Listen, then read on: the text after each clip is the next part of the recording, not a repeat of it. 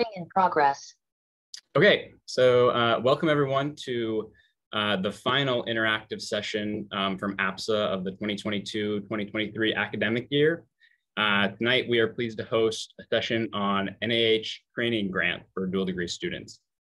Uh, I wanna start just right off the bat by having our wonderful panelists go around and introduce themselves, including their name and current institution. Uh, so I'll just be efficient and calling you by name. So um, we'll start with Cynthia. Hi, everyone. My name is Cynthia Tang. I'm a fifth year, uh, I guess, incoming sixth year MD PhD candidate at the University of Missouri, and I'm the incoming president elect of the American Physician Scientists Association. Thanks, Cynthia. Uh, Carrie? Hi, all. Um, I'm Carrie Jansen. I am finishing up my seventh year no, my eighth year at Emory um, in the MSTP in Atlanta, starting my final year of MD PhD training.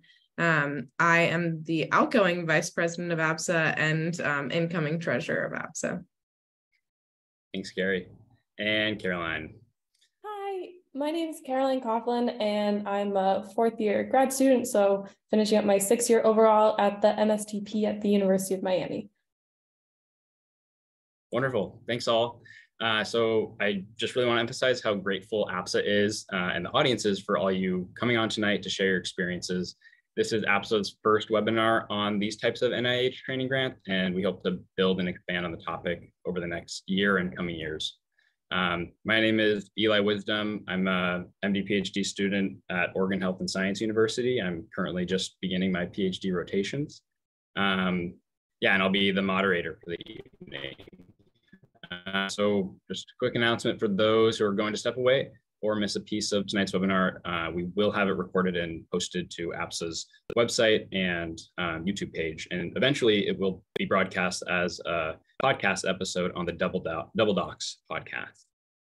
Um, for the audience, if you have any live questions, um, put those in the Q&A box. Uh, we will have someone moderating kind of the chat box, but the Q&A box will be the most efficient way.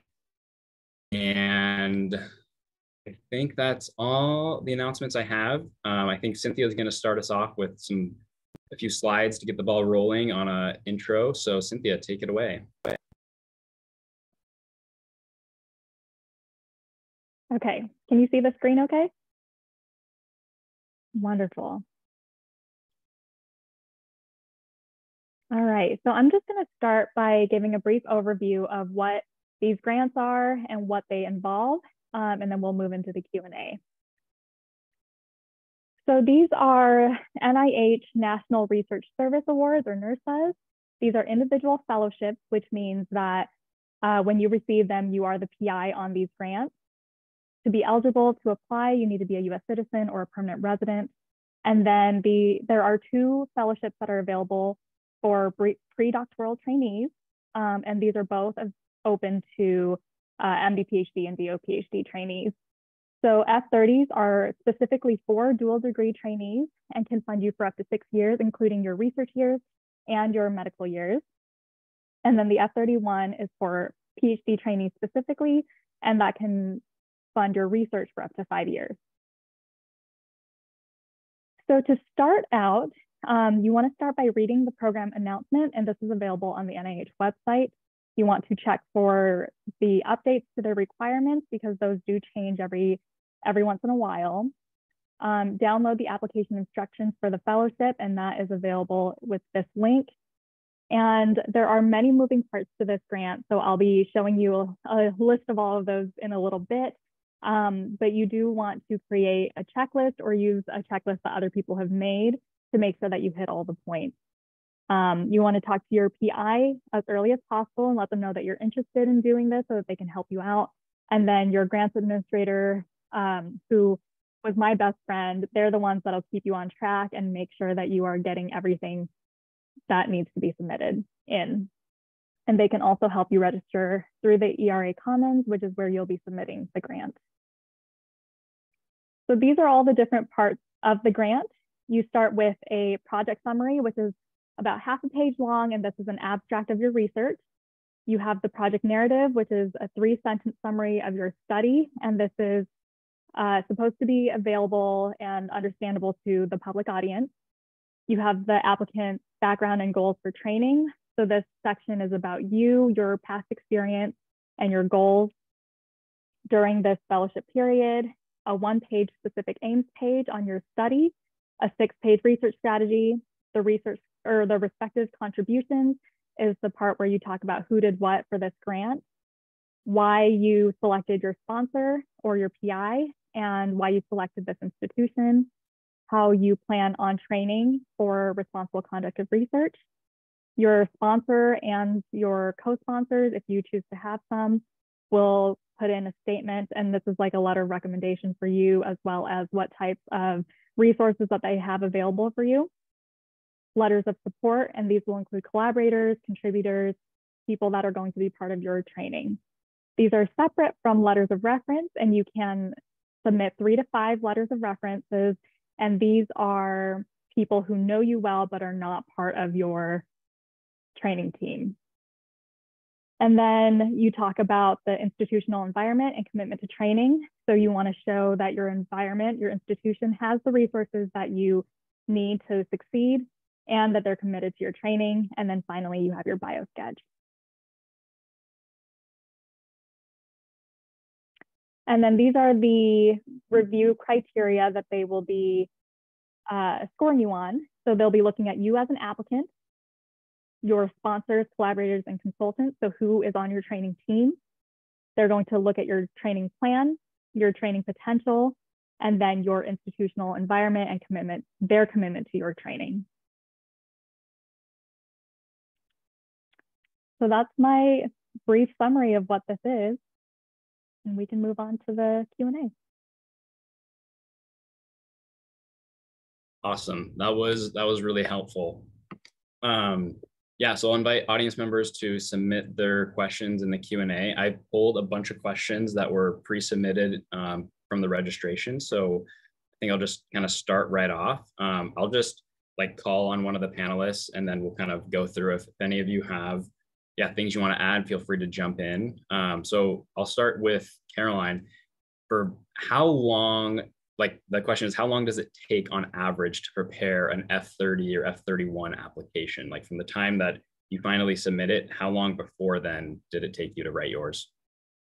So I think I started mine. I submitted December 2020. So F30s, there's three submission dates throughout the year, beginning of April, beginning of August, beginning of December. So once you have a date in mind, it's good to start planning backtracking as to when to get things done. So I started writing in March um, of 2020, which kind of aligned because we got stuck home with the pandemic. So I did a lot of my um, non-research training writing then and then i did all like the non-research related stuff that was done by august and then september october november i was finalizing all the research related components of my grant Wow, that's certainly a lot. Um, Carrie, how about you? How long? How long was yeah. your timeline? Um, I would say not quite as long, but maybe with a caveat. So, uh, my program has like a pretty strong grant writing class that we're more or less required to take, and so that class walks you through the bulk of writing the research proposal. Um, you still you still have to do a lot of the kind of supporting documents on your own, um, but I took the class in the spring semester um, and wrote my proposal over the course of that class as it was assigned. Um, and then didn't really do much more on it until in the fall.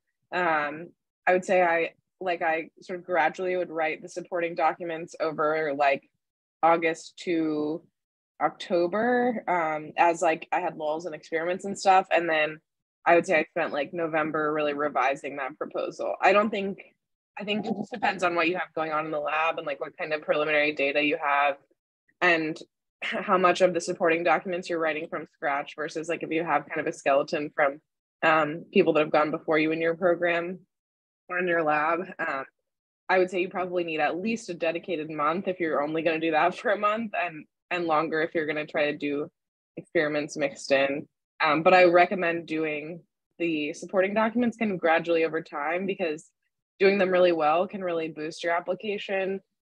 doing them okay is fine, doesn't really hurt you, but doing them poorly can really hurt you. So if you try to do them over time when you have more time to dedicate to them and not at the end when you're like really trying to get everything in your research um, proposal tied up nicely, then it can really kind of strengthen your application overall.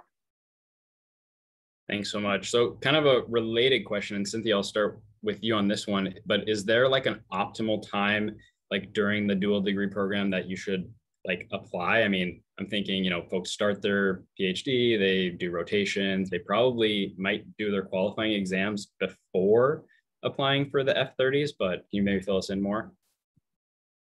Yeah, so you do have to apply within 48 hours or 48 hours, 48 months um, of matriculation. So you have four years, you have to apply, the first submission needs to be within the first four years. Um, most people, I think, will apply towards the end of their first PhD year or during their second year once you have some preliminary data and you um, you're more established in your lab. I think it helps to show that you've made progress on your PhD. So if you have your qualifying exam, I think that's great. Um, definitely try to have your committee formed so that you can talk about them. But I did not have my qualifying exam done when I applied and it worked out. So it's not required. Okay, great. So kind of yeah, being mindful of that 48 month timeline of when you first matriculated into medical school and now you're presumably in that, you know, 2 years into your PhD almost when you like that's the deadline. What do any of you know so I'll ask Carrie, do you know if there is a what's the resubmission process like? So if you you hit that deadline, you apply within 48 months, what is like do you know what the resubmission um, timeline looks like yeah so i actually resubmitted my grant i it was not funded on my first submission it was funded on my second one i would say that you should go into this process like more or less expecting to have to resubmit it like most people have to submit their grant more than once to get it funded um, it's not quite so kind of dismal as like R01s if you've like heard your PIs talking about that, but um, a lot of people do have to resubmit. The vast majority of everyone that I know that has one submit resubmitted at least once. So I would go into it expecting to resubmit, but importantly, you only have to have your initial submission done in that 48 month window. So as long as you submit your first submission, which is called an A0 submission in the first 48 months, you can submit your resubmission in the next like after that time period expires. Um, for me, I resubmitted mine on a pretty tight timeline. So I submitted my A0 in December and I resubmitted my A1 in April, which is a very, very tight timeline because your um, review section is generally not until like several months after the deadline. So I had, I think, like a little less than two weeks to resubmit, um, which was like probably not super advisable, but what needed to happen for what was going on in my life at the time. Um, so I would say most people tend to get their their um, like comments and stuff back um, a couple months after they submit, and then they'll resubmit for like the next deadline. So generally, people re- like skip one of the deadlines and resubmit the next one. So like if you submit it in December, you're likely to end up resubmitting in August. If you submit it in April, you're likely to resubmit in December. That's really great. Yeah, thanks for clarifying. Uh, the next question uh, I see on here is like, what do you guys have it for like recommendations for folks who are being mentored by more like junior PIs? Like kind of in the context that these F30, F31 awards are training awards. And so the basis of you getting funded is somewhat like contingent on you being in a really great training environment. Do any of you have experience, um, you know, with kind of a more junior PI as your main mentor and how would you strategize that for an F30? I have a pretty junior PI. I was my first, my grad student's first, um, my grad, my PI's first grad student. Um, and I was co-sponsored on my grant by one of his mentors. So the, my co-sponsor was my PI's mentor on his K99R00 that he had. Um, and he's like a close mentor to my PI as well as all the people in our lab. And so that was like a natural fit.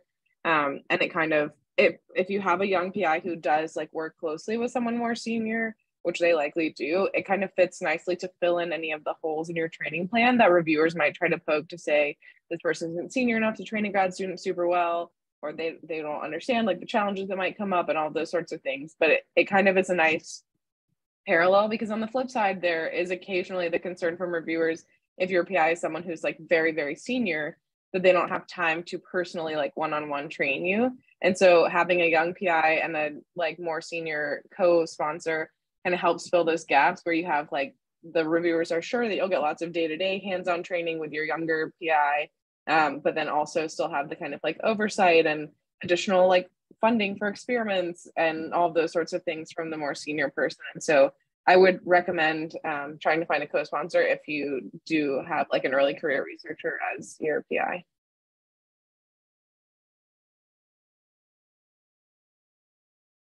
That was really helpful. Thanks, Carrie. Um, Caroline, I want to ask you, um, let's see, um, are there advantages or disadvantages to applying like for an F30 versus an F31, depending on your stage in the program? Do you have any insight on that? I honestly have no idea. Do any of the other panelists have uh, insight on kind of the F30 versus F31?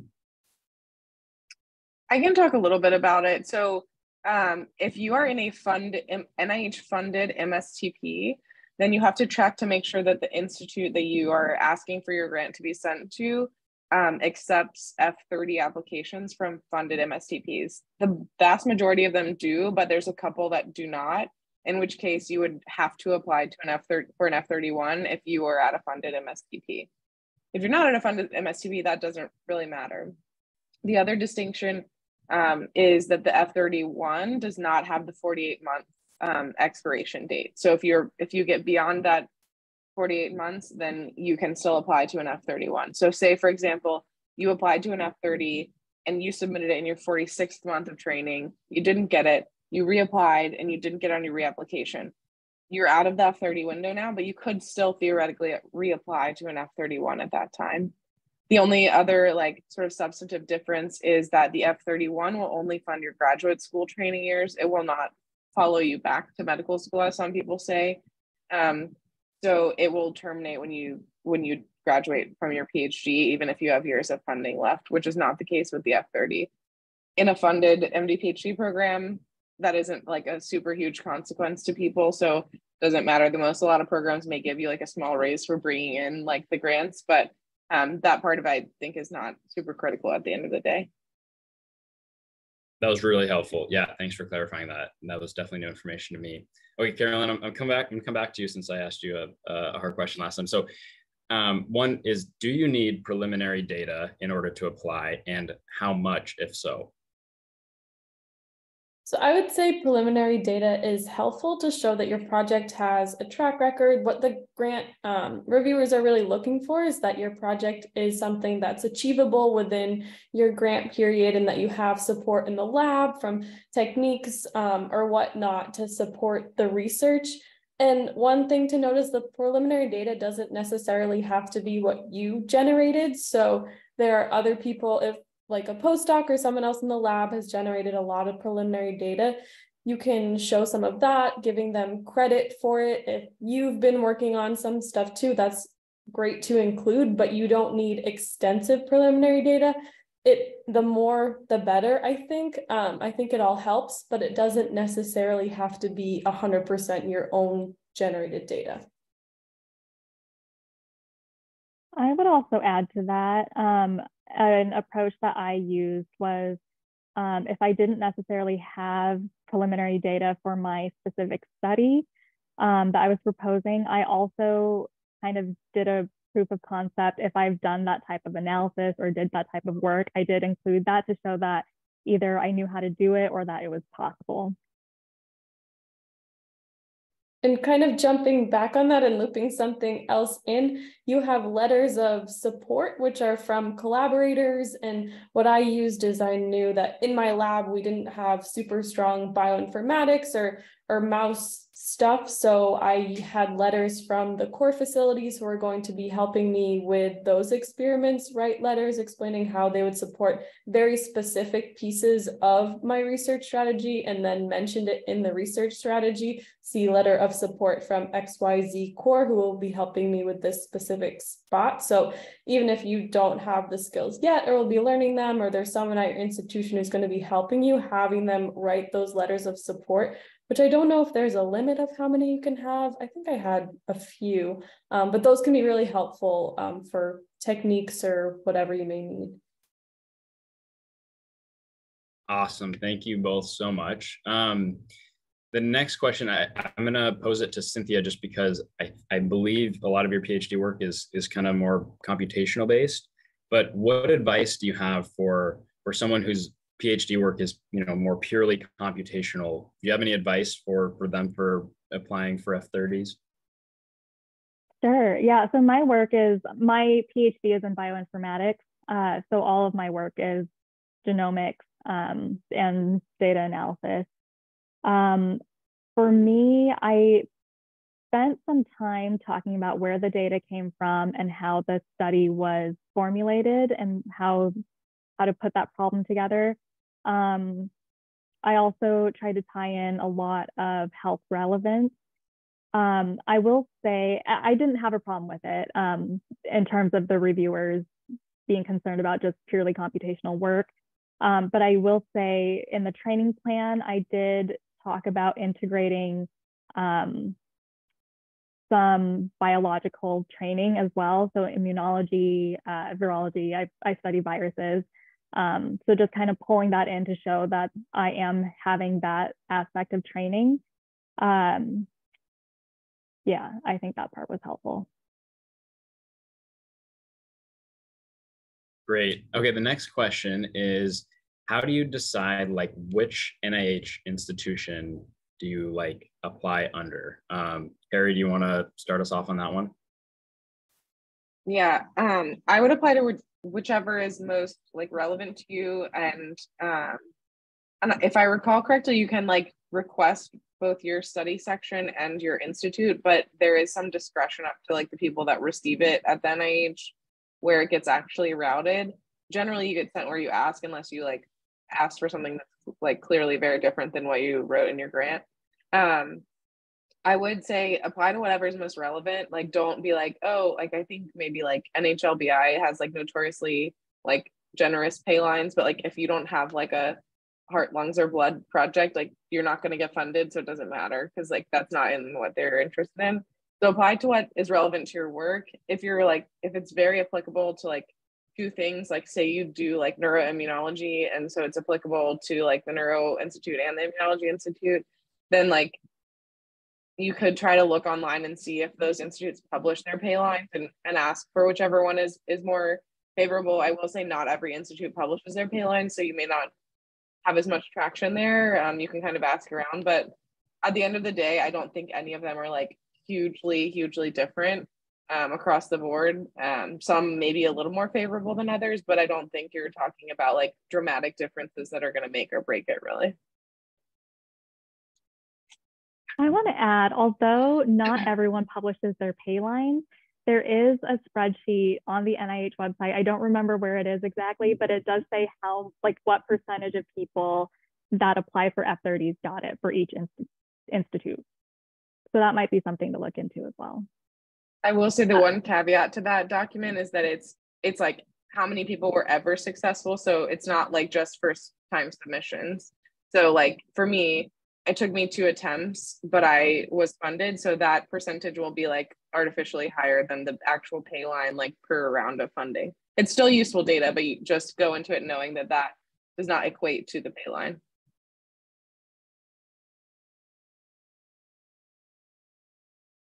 Great. All right. I'm going to pose this question to, to all three of you if you have any uh, experience, but is there, are there any advice for folks who are more kind of public health uh, research related versus you know wet lab like research related. Any of you have experiences in kind of a public health aspect?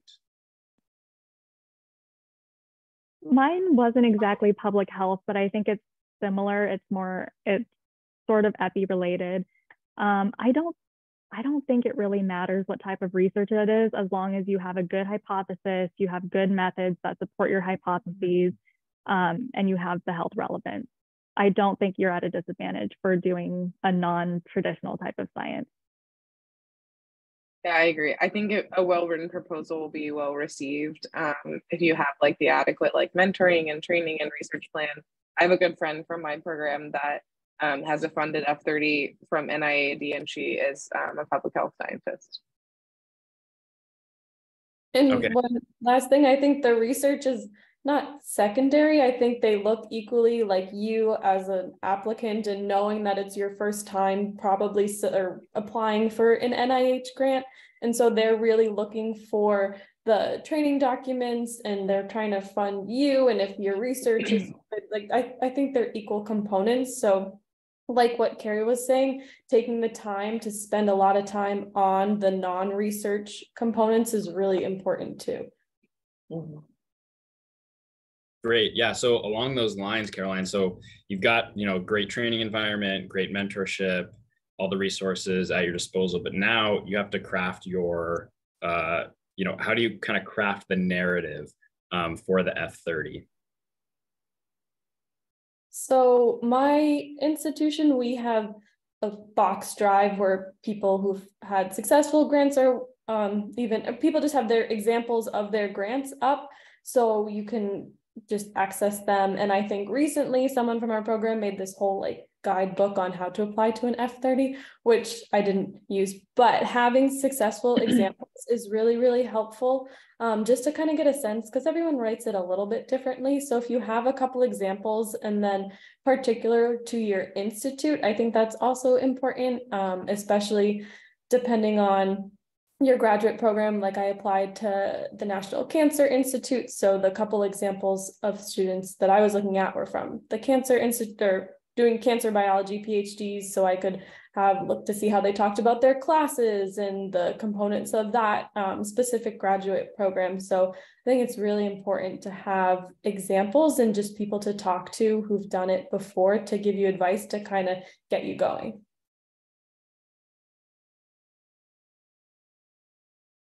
Uh, Cynthia or Carrie, do you guys want to add on to that that great answer about kind of crafting the narrative? I think it's like any other application, like applying to like MD programs and anything else. Like you want to craft a narrative about who you are and what you're doing, um, and you want it to be cohesive. So like you want your letter writers to like mention the same goals that you mentioned in your training plan, that your mentor mentions in their sponsor statement, um, and all those things. Like you want it to be all internally consistent, obviously, because you're like selling this to your study section as like a package of like, here's who I am, here's like why I'm prepared to do what I propose, and here's like all the ways that the people around me are going to support me and train me to like accomplish the research that I proposed. Um, so I would say just like think about it that way. Think about like how to tell a cohesive story that like kind of ties it all together and and really authentically represents your goals.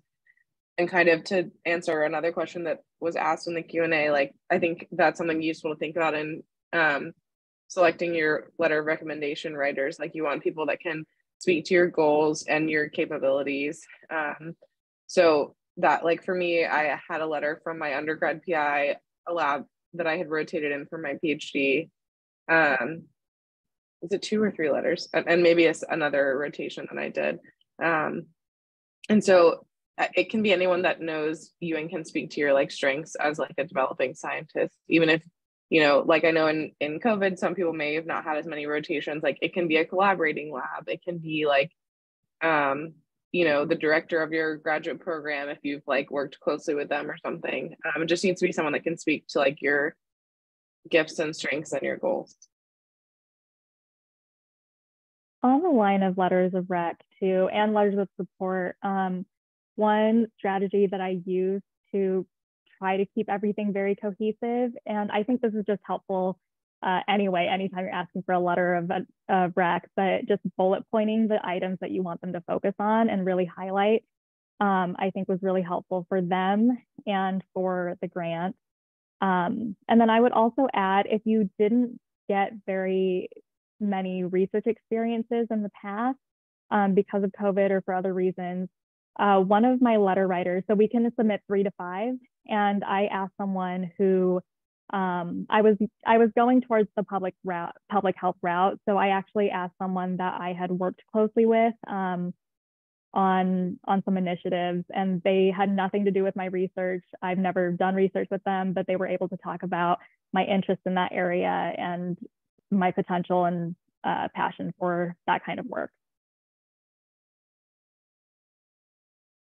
Really helpful. Thank you. Um, so Cynthia, I'm going to come back to you for this next question. And the question is, you know, I would be the first in my institution to apply for an F30. You know, where can I find examples of fully funded F30s? And correct me if I'm wrong, but I, I think you were the first one in your program to, to have a successful F30. Can you kind of fill us in on where you look to, for guidance? Yeah, um, yeah. So I, I was the first in my institution, and what Caroline was saying earlier, um, I reached out to a lot of people from different institutions for their examples, and that was so helpful. Um, and we are working on making a national database somehow um, to help individuals that do not have access to these large databases at their universities um, but in the meantime, if you don't have any examples, I'm sure you can reach out to any one of us and we'd be happy to share ours.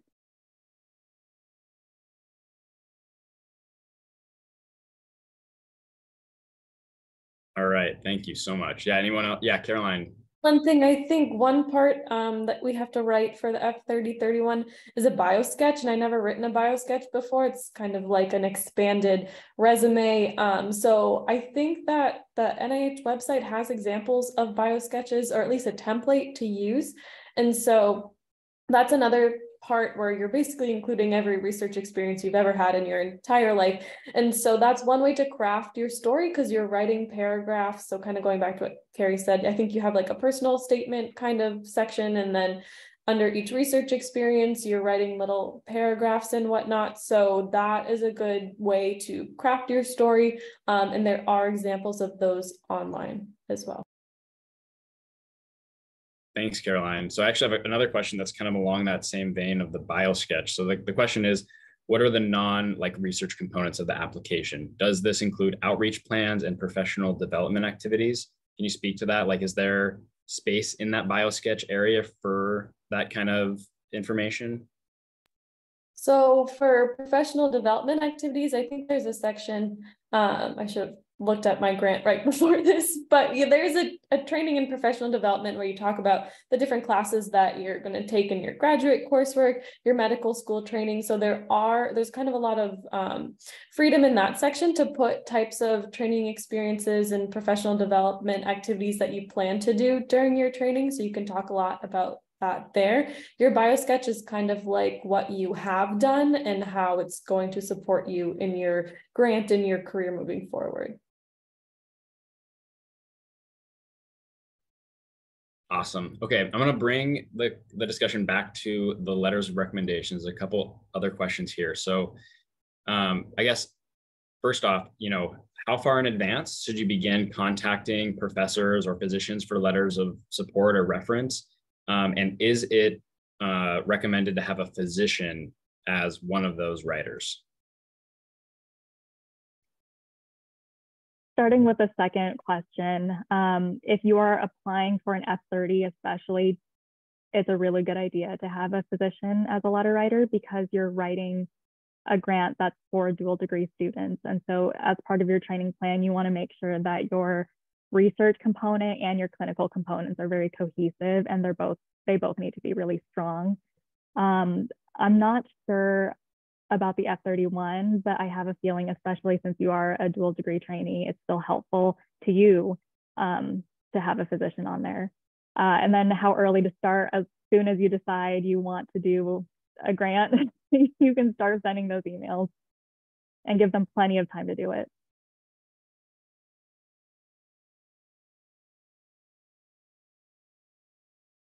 Really great. Thanks so much.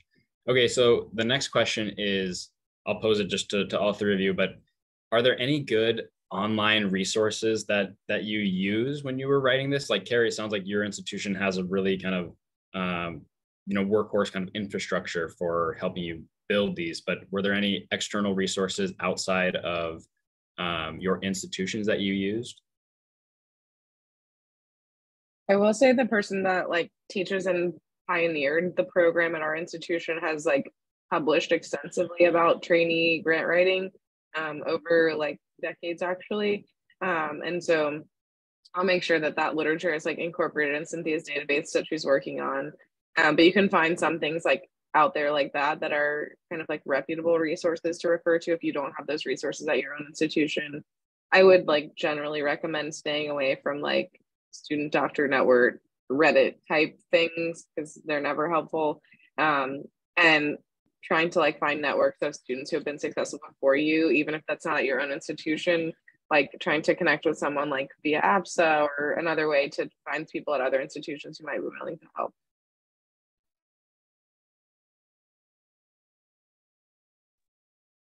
Thanks, Carrie. Yeah, Cynthia, sounds like you know there's a definitely an opening for APSA to kind of be involved in supporting uh, current trainees and kind of this application process. So hopefully we can yeah drum something up in terms of a grant bank or peer support. Um, so the next question I want to ask um, is so the, the question is F31s have a diversity, diversity grant, F30s do not. Do you know if F30s have any opportunities or considerations for underrepresented students?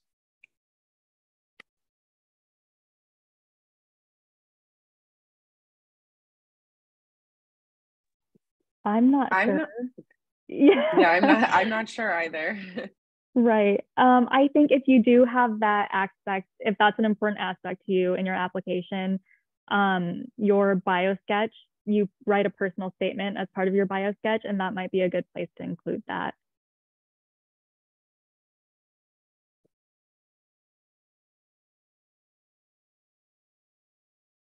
Okay, great. Yeah, super helpful. Um, I'll bring it back to the difference between F30s versus F31s. Carrie, I know you were talking earlier about how the F30s are more focused for dual degree students. F31s are also open to just kind of PhD researchers. But would a dual degree student be more competitive in an F31 pool, even though there's more total applicants? And is there is there any reason that if you're within that 48 month timeline from when you matriculated that that one would choose to apply for an F31 over an F30? I think generally no. I think you're probably unlikely to be like any more competitive in F31 than you are in F30 um, because the per, the study sections are literally the same. Like the same, your grant, whether you submit an F30 or an F31 on the same deadline, are going to be reviewed by the same pool of people. Um, so the like kind of like the sort of popular notion that an F30 is it has tends to have a, a bit more favorable pay line is really more a numbers game than it is like an like a kind of advantage thing just because there's more people applying for F31s. Um, and again, that difference is like not dramatic. It generally is like fairly inconsequential. So I I think the real advantage is that the F30 mechanism can fund you for longer.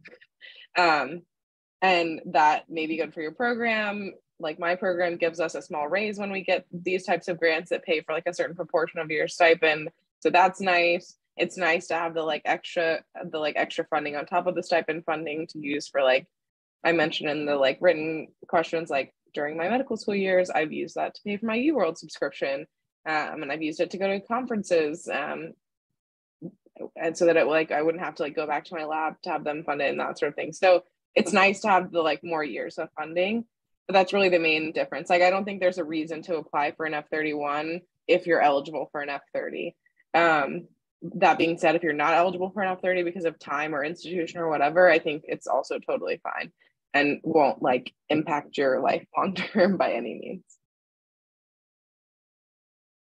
Really helpful. Yeah i didn't know that the kind of funding would carry over to your last two years of medical school and that that would be yeah quite useful if you were wanting to go to conferences and stuff after you left your phd um, caroline i'm going to ask you the next question. Are there any nih commitments for students on these f30 or f31 grants such as serving on study sections? Um so not that i know of. Um, the only like I think thing that you have to do once you get the grant is annually you have to write your RPRR, which I'm blanking on what that stands for, but it's kind of like this is what happened this year, this is what you're doing next year. It's a very short document that you have to fill out and submit through your grants office as kind of formally what happened and I guess the behind the scenes budget um, will go into that as well, but that's something you have to do annually once you receive your grant.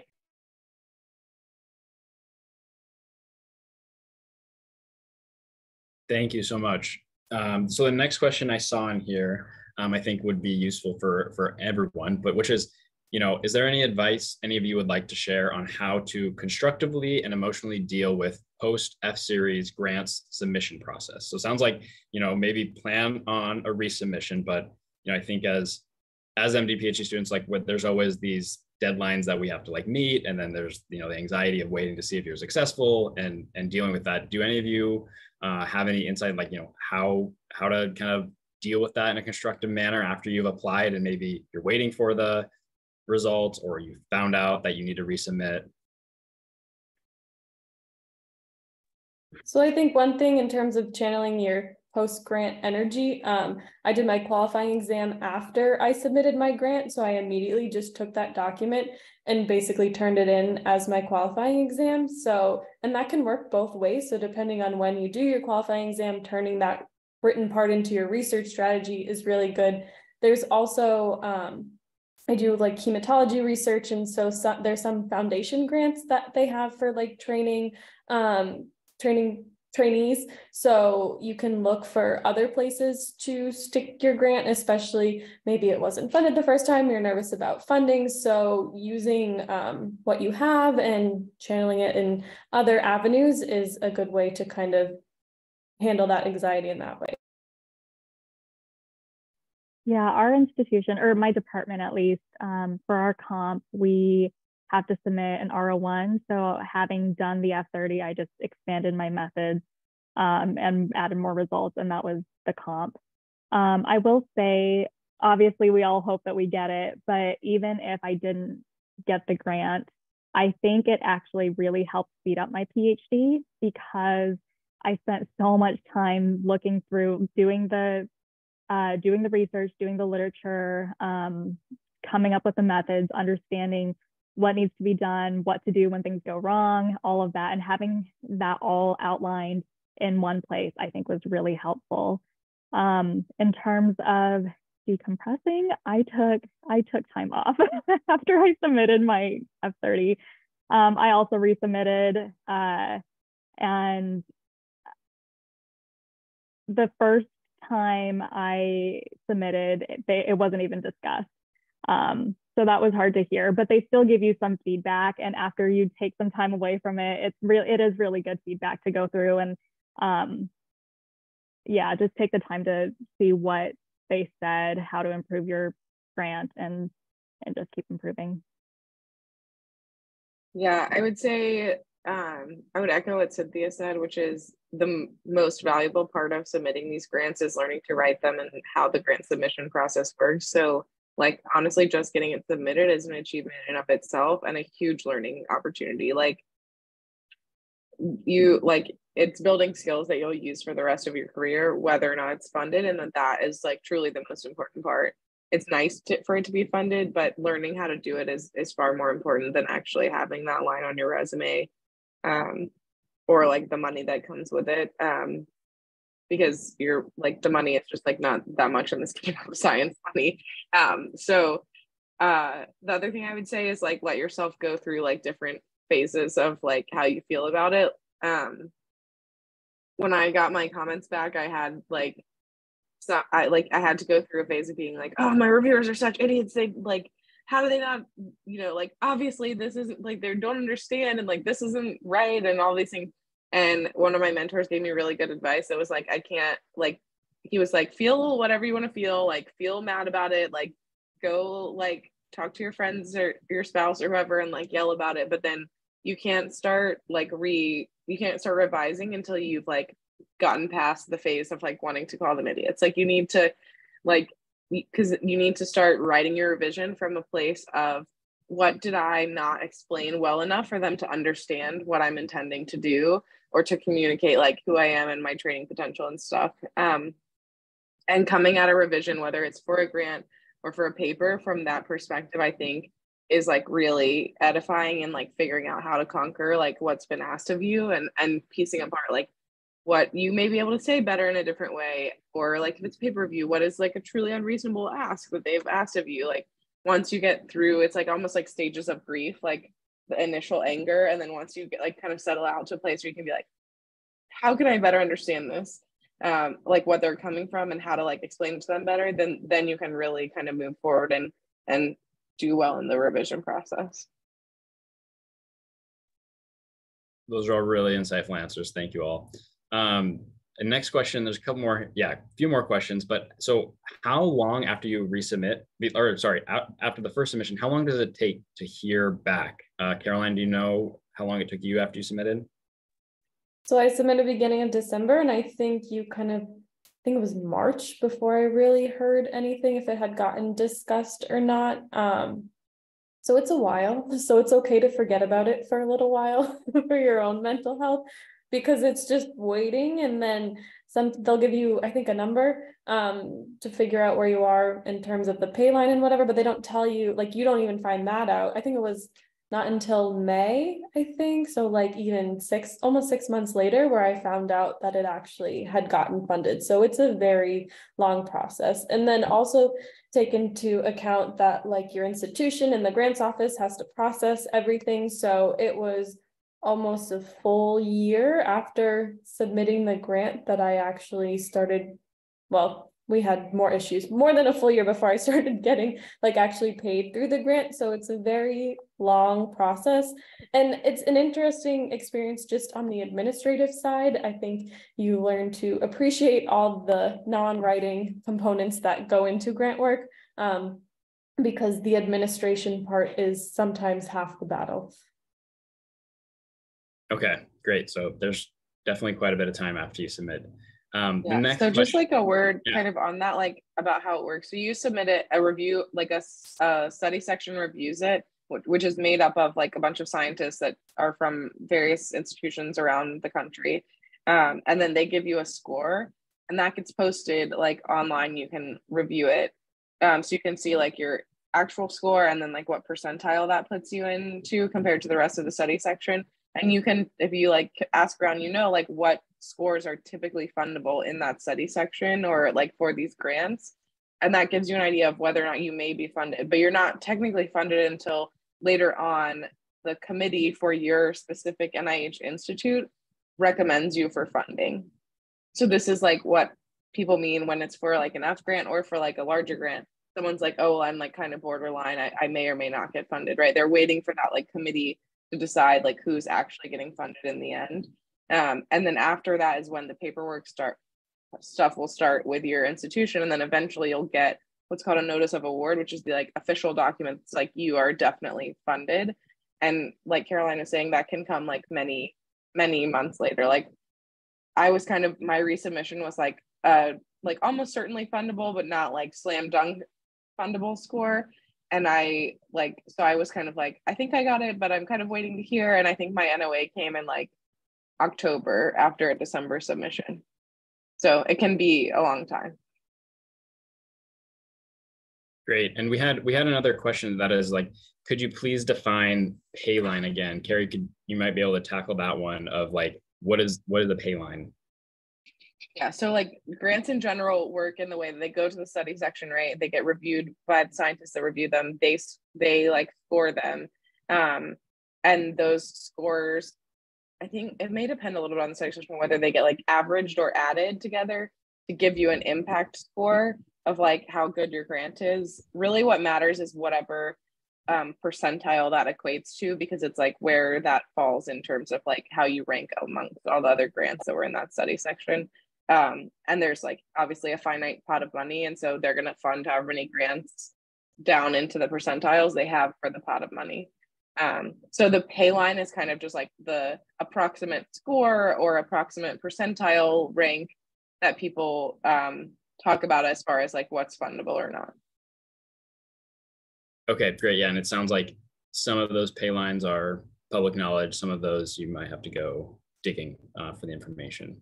Okay, um, last question, and this is for all three of you, but um, what is something you wish you knew before you applied for these F30 or F31 training grants? Um, I'll let I'll let whoever wants to start off uh, go ahead.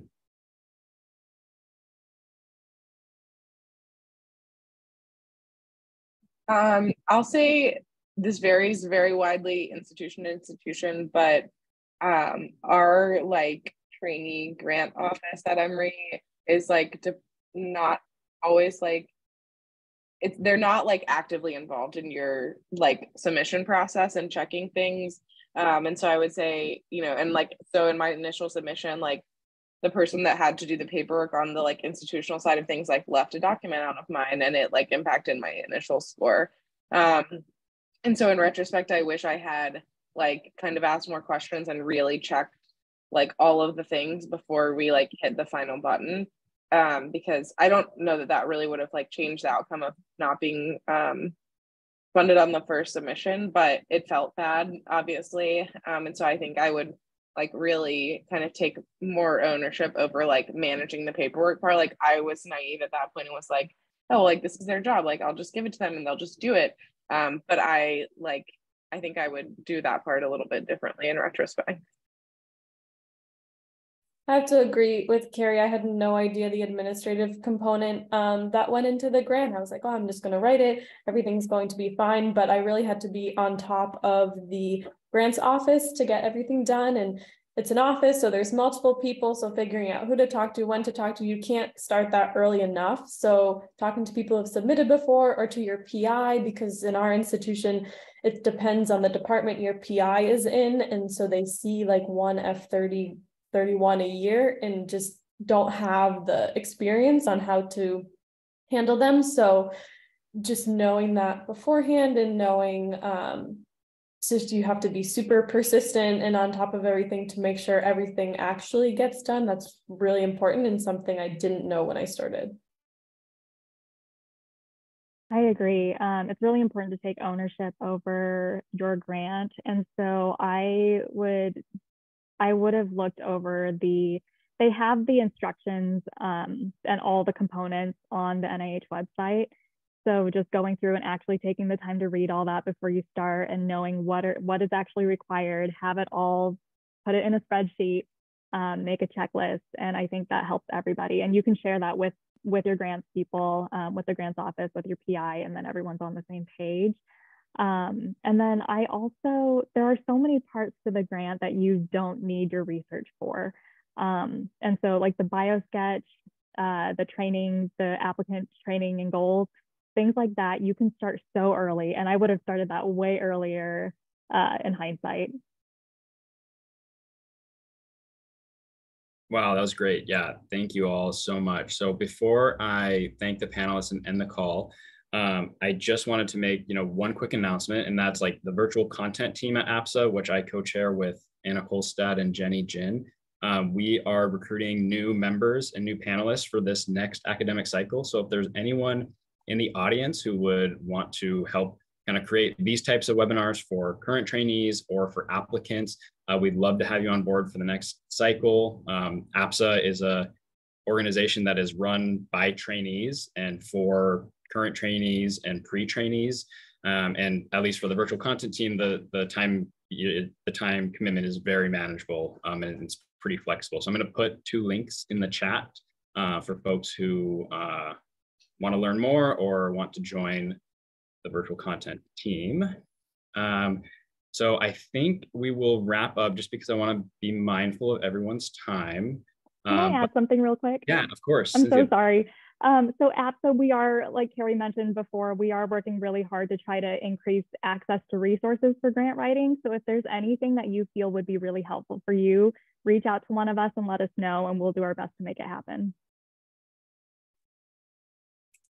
Yeah, thanks, Cynthia. And yeah, we definitely are in terms of like these this F30, F31 grant cycle. We're trying to drum up some yeah excitement by current trainees so that you know we at APSA can develop some sort of helpful resources for folks. So I'm going to plug my um, email into the chat. And we, yeah, I'd love to hear if people have recommendations or want to head part of that effort up. Uh, would love to have you on board.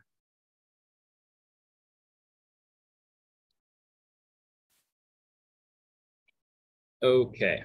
All right. So um, now I just want to thank you to the panelists uh, for your time. Really thank you to the audience for asking great questions. I hope you guys, uh, you know, got a lot of great information out of this. And I hope that, you know, this webinar is something that we can continue on in the future and maybe have multiple kind of tracking the cycle of the F30 application process. Um, we are planning out the next uh, round of webinars for the following academic cycle. So stay tuned uh, to APSA's social media and our email announcements.